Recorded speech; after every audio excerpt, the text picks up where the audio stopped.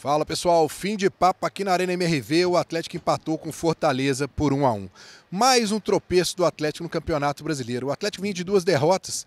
Perdeu aqui para o Palmeiras, tomando quatro gols. Depois foi a Salvador, perdendo o Barradão por 4 a 2 do Vitória.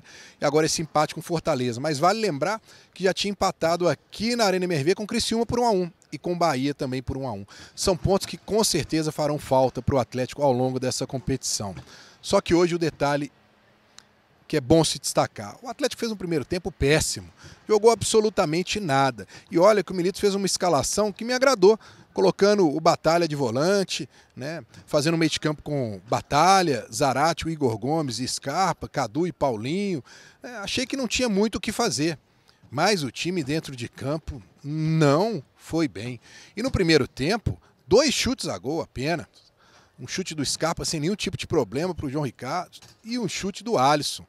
E ainda conseguiu tomar um gol, um belo chute, que mais uma vez surpreendeu o Everson e vira o primeiro tempo perdendo por 1 a 0. A preocupação na Arena MRV foi gigantesca, porque quem poderia mudar a história do jogo? Com time, com os jogadores que o Atlético tem no banco, muito difícil imaginar isso, né?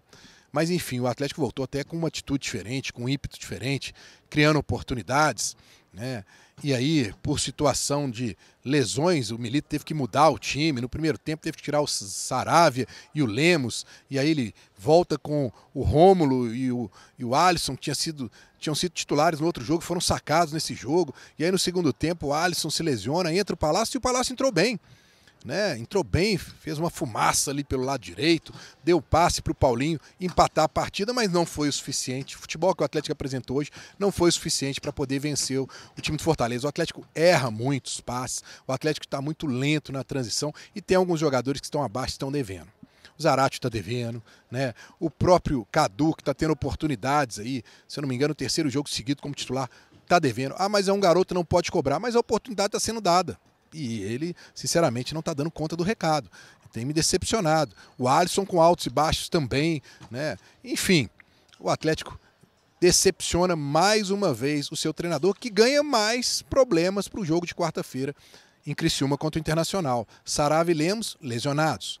Né? O Alisson sai é, carregado para o vestiário hoje é, e vai ser dúvida para o jogo e também o Igor Gomes, que ganhou o terceiro cartão amarelo. Em compensação, tem a volta de Hulk e esse faz uma diferença tremenda. Como faz falta o Hulk ao time do Atlético? O problema, senhores, é o elenco do Atlético é escasso e o Milito está tentando fazer o que pode, mas a qualidade do elenco do Atlético, sem os titulares, sem esses desfalques que tem, é muito baixa e não está conseguindo suprir a necessidade. É isso, senhores.